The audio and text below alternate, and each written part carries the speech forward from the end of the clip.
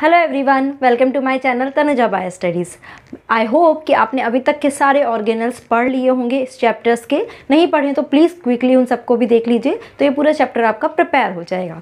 Okay okay, आज के video में हम किस टॉपिक की बात कर रहे हैं? हम एंडोमेम्ब्रेन सिस्टम में नेक्स्ट ऑर्गेनल की बात कर रहे हैं that is the ribosomes okay this is a very important organelle क्योंकि इसकी वजह से ही और प्रोटीन सिंथेसिस होता है। एक्चुअल में प्रोडक्ट्स बनते हैं सेल के।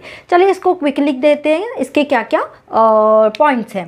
First is what it is a granular structure बहुत ही छोटी और ग्रैनुलर स्ट्रक्चर होती है। माइक्रोस्कोप के अंदर एक डेंस पार्टिकल दिखता है। ऐसे ही कुछ ऐसा डेंस सब पार्टिकल दिखता है which is known as ribosome इसको किसने डिस्कवर किया? ओके इसको डिस्कवर किसने किया था?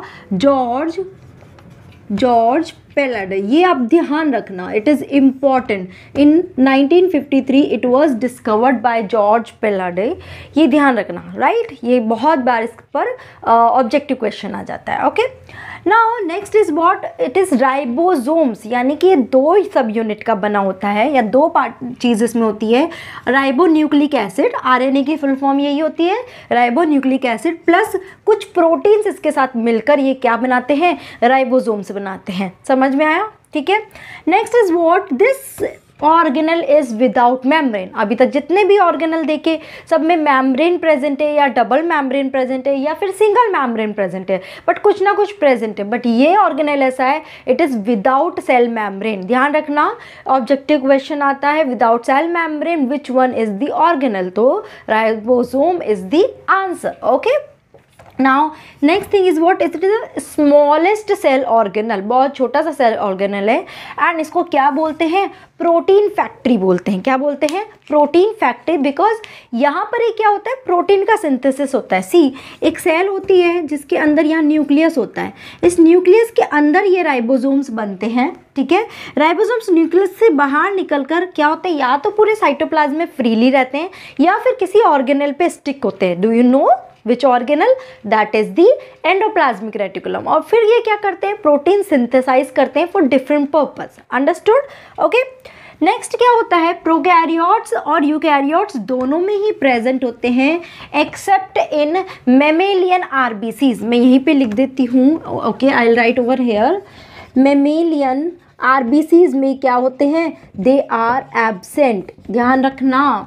अर्लियर मैंने माइटोकॉन्ड्रिया या क्लोरोप्लास्ट बोला कि प्रोकैरियोट्स में एबसेंट होते हैं बट ये राइबोसोम प्रोकैरियोट्स और यूकैरियोट्स दोनों में प्रेजेंट होता है एक्सेप्ट मेमेलियन आरबीसीज इरिथ्रोसाइट्स ध्यान रखना except mammalian RBCs okay prokaryotes में कहाँ होंगे ये? फ्रीली साइटोप्लाज्म में घूमते रहते हैं, क्योंकि प्रोकैरियोट्स में एज सच कोई न्यूक्लियस नहीं होता। ऐसे ही डेंस डीएनए मटेरियल होता है तो प्रॉपर न्यूक्लियस कोई प्रॉपर सेल ऑर्गेनल नहीं होते। तो फ्रीली साइटोप्लाज्म में होते हैं। यूकैरियोट्स में नाउ दो तरह से राइबोसोम प्रेजेंट होते हैं। One ribosome is known as cytoplasmic ribosome, another is known as the organellic ribosome. Cytoplasmic यानी कि फ्रीली साइटोप्लाज्म में घूम रहे हैं। ऑर्गेनल यानी कि किसी ऑर्गेनल के अंदर प्रेजेंट है। जैसे कि क्या हो जाएगा यहाँ पर? That is mitochondria and chloroplast. ठीक है? ये दो ऑर्गेनल के अंदर ये वाले राइबोसोम प्रेजेंट है एज वेल एज ये ईआर के साथ भी स्टिक रहते हैं। बट ऑर्गेनल राइबोसोम में कौन सा एग्ज़ाम्पल आएगा? Mitochondria and chloroplast okay cytoplasm में ये फ्रीली घूमते रहते हैं, जबकि प्रोकैरियोट्स में सिर्फ़ साइटोप्लाज्मिक राइबोसोम्स ही होते हैं। ऑर्गेनल राइबोसोम्स नहीं होते। क्लियर ओके अब बात करते हैं टाइप्स ऑफ़ राइबोसोम्स कौन कौन से राइबोसोम्स के टाइप्स होते हैं? टू टाइप्स के राइबोसोम होते हैं seventy S and eighty S इससे पहले एक क्वेश्चन अराइज होता है कि ये एस क्या है? Okay this S is known as the Svedberg unit क्या बोलते हैं इसको? स्वेडबर्ग यूनिट एस वी ठीक है, ध्यान रखना, ये स्वेटबर्ग साइंटिस्ट ने बताया था इस यूनिट के बारे में। That's why it is known as Svedberg unit या फिर एक और नाम आप इसका लिख सकते हो। It is known as the sedimentation coefficient मैं यहाँ पे लिख देती हूँ। एस इज़ दी सेडिमेंटेशन को ठीक है? सी ये क्या होता है? इस हर ऑर्गेनल को एक पर्टिकुलर स्पीड पे वो या एक पर्टिकुलर सेडिमेंटेशन रेट पर वो सेपरेट आउट होते हैं। Do you know about centrifuge centrifuge में क्या होता है? ऐसे ट्यूब्स में सारा मटेरियल डाला जाता है और वो बहुत तेज़ स्पीड में घूमता है। बट सेंट्रीफ्यूज में क्या होती है? अलग अलग स्पीड होती है। उस अलग अलग स्पीड के हिसाब से ही क्या होते हैं? सारे ऑर्गेनल सेपरेट आउट होते हैं। तो राइबोसोम जो है, वो जिस सेडिमेंटेशन रेट पे सेपरेट आउट होता है that is known as S sedimentation rate इस वाली डेंसिटी पे ये सेपरेट आउट हो। रहा है कौन सी डेंसिटी पे? एक तो सेपरेट आउट हो रहा है राइबोसोम 70 वाली डेंसिटी 70 एस की स्पीड वाला डेंसिटी राइट एंड एक सेपरेट आउट हो रहा है 80 सेडिमेंटेशन रेट पे। समझ आ रहा है? सेवेंटीन एटी उसी के बेसिस पे हमने बोल दिया राइबोसोम दो तरह के होते हैं, एक seventy S and eighty S दो तरह के होते हैं। इसको फर्दर हम और डीप में देखेंगे I tell you okay eighty S ribosomes जो होते हैं, वो कहाँ प्रेजेंट होते हैं? They are present in eukaryotes ठीक है? और सेवेंटी एस राइबोसोम्स कहाँ प्रेजेंट होते हैं? They are present in prokaryotes और इसके अलावा एक और कहाँ प्रेजेंट होते हैं? जो यूकैरियोट्स का माइटोकॉन्ड्रिया और क्लोरोप्लास्ट आई टोल्ड यू ना कि यूकैरियोट्स में साइटोप्लाज्म में तो होते ही हैं, उसके अंदर ही उसका एक और ऑर्गेनल जो होता है माइटोकॉन्ड्रिया एंड क्लोरोप्लास्ट उसके अंदर भी ये प्रेजेंट होते हैं। ठीक है तो उसके अंदर कौन सा वाला प्रेजेंट होता है? सेवेंटी एस एटी एस नहीं होता सेवेंटी एस प्रेजेंट होता है। मैं माइटोकॉन्ड्रिया और क्लोरोप्लास्ट में भी इसके बारे में हम बात कर चुके हैं। ठीक है बिकॉज़ ये एक सेल के ऑर्गेनल यानी माइट्रोकोंडिया के अंदर ये एक और ऑर्गेनल प्रेजेंट है। That is why it is known as the within organelle ठीक है? कि राइबोसोम एक ऑर्गेनल है, वो दूसरे ऑर्गेनल के अंदर प्रेजेंट है, यानी माइटोकॉन्ड्रिया और क्लोरोप्लास्ट के अंदर प्रेजेंट है, इसलिए इसको बोला जाता है organelle within a organelle ठीक है? समझ में आया? Okay and one more thing seventy S and eighty S seventy S की अगर हम बात करें सेवेंटी एस दो सब यूनिट का बना होता है thirty S and fifty S. कौन कौन से सब यूनिट है? Thirty S and fifty S ठीक है? एटी एस सब यूनिट किसकी बनी होती है? Forty S and sixty S. Now the next question arise कि मैम थर्टी एंड फिफ्टी तो मिलाकर कितना होता है? एटी होता है। आप तो सेवेंटी एस हो रहे हैं तो थर्टी प्लस फोर्टी होना चाहिए। It's like this one see क्या होता है? जब हम ये अलग अलग यूनिट्स को जब सेंट्रीफ्यूज uh, के सेपरेट सेपरेट आउट करते हैं इंडिविजुअली तो ये इस रेट पे इसका डेंसिटी या सेडिमेंटेशन कोफिशेंट होता है, या सेडिमेंटेशन रेट होता है, कि इसी रेट पे ये सेपरेट आउट होती है। बट कंबाइंडली जब हम पूरी यूनिट को कंबाइंडली सेपरेट आउट करते हैं तो वो 70 की स्पीड पे सेपरेट आउट होती है। इसलिए इसको बोले थर्टी प्लस फिफ्टी ठीक है? ऐसे ही एटी में भी अगर इंडिविजुअली ये दोनों यूनिट को सेपरेट करें तो एक फोर्टी एस पे सेपरेट होगी और एक सिक्सटी एस पे सेपरेट आउट होगी। That's why it is also forty plus sixty तो इट डजेंट मीन कि forty plus sixty is equal to hundred hundred ऐसा होना चाहिए। नो अगर कंबाइंडली करेंगे तो वो ए पे होगा, ठीक है? दो सब यूनिट है देखने में पता चल रहा है it is a small subunit and it is a large subunit ठीक है? तो एक स्मॉल और एक लार्ज सब यूनिट होती है। स्मॉल सब यूनिट कैसी होती है? It is a cap like और लार्ज सब यूनिट कैसी होती है? डोम शेप्ड होती है। कैसी होती है? डोम शेप्ड समझ आया कि लाइक एंड डोम शेप ये दोनों यूनिट रहती है। बट जनरली क्या होता है, नॉर्मली ये दोनों यूनिट अलग अलग रहती है, ठीक है? नॉर्मली ये दोनों यूनिट अलग अलग रहती है।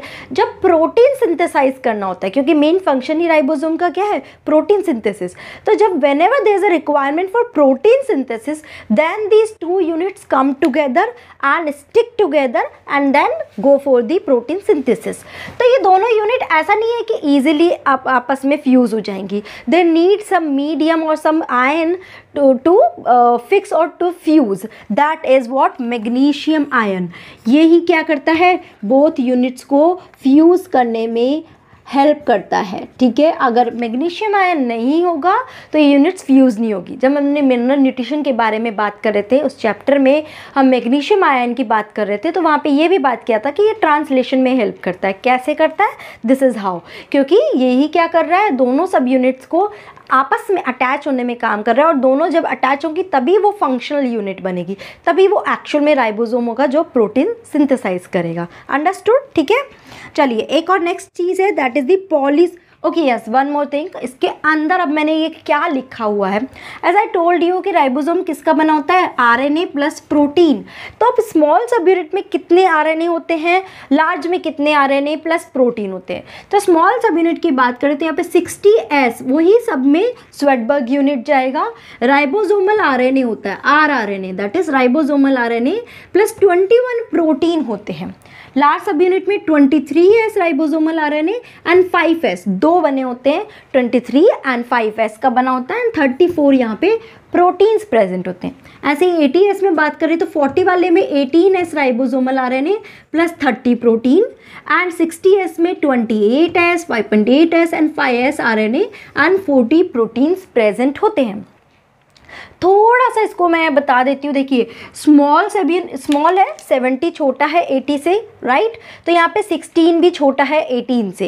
यहाँ पे ट्वेंटी थ्री भी छोटा है ट्वेंटी एट एस से। तो इस तरह से थोड़ा सा भी ध्यान रहेगा कि सेवेंटी है, छोटी सब यूनिट में एट सिक्सटीन आएगा। एटी वाले एस में छोटी सब यूनिट में एटीन आएगा। फिर यहाँ पे ट्वेंटी थ्री आएगा, ये छोटा नंबर आएगा, ये बड़ा, क्योंकि एटी सेवेंटी से बड़ा नंबर है।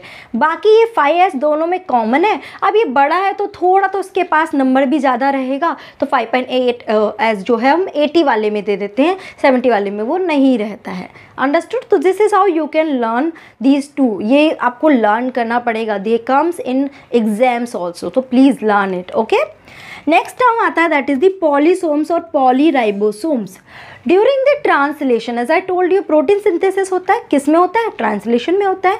सो ड्यूरिंग ट्रांसलेशन ये क्या होते हैं? ये सारे राइबोसोम किससे अटैच हो जाते हैं? एक स्ट्रिंग से अटैच हो जाते हैं. Can you see this red one string ये स्ट्रिंग क्या होती है? दिस इज़ दी एम और यहाँ पे ये सारे जो राइबोसोम्स हैं, वो अटैच हो जाते हैं। दे ऑल आर राइबोसोम्स ठीक है? और एक साथ ही वो सारों का क्या होता है?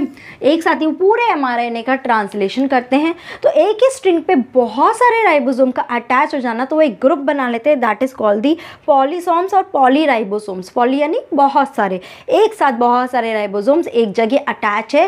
That is called the polysomes और पॉली राइबोसोम्स ये क्वेश्चन आता है। ये बहुत बार क्वेश्चन आता है, ठीक है? और ये कहाँ पाया जाता है? प्रोकैरियोट्स में। यूकैरियोट्स में नहीं it is found in prokaryote ध्यान रखना, इस पर क्वेश्चन आया भी हुआ है नीट में okay and last thing is what nucleolus what do you mean prokaryotes में तो सी न्यूक्लियस नाम का कोई स्ट्रक्चर ही नहीं होता है तो न्यूक्लियोलस भी नहीं प्रेजेंट होता। बट यूकैरियोट्स में क्या होता है?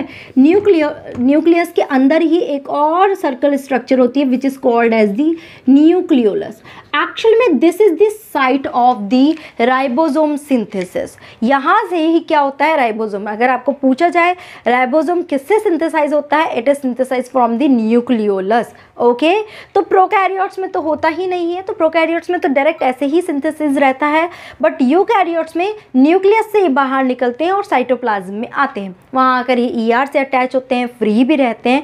डिपेंड्स वो हम ई e के बारे में बात कर चुके हैं, ठीक है? So that is the nucleus so this is all about ribosome main function की बात करें, प्रोटीन सिंथेसिस करता है, ट्रांसलेशन में पार्ट लेता है so if you have any doubt in this whole lecture please let me know through comment section thank you so much guys for watching this video.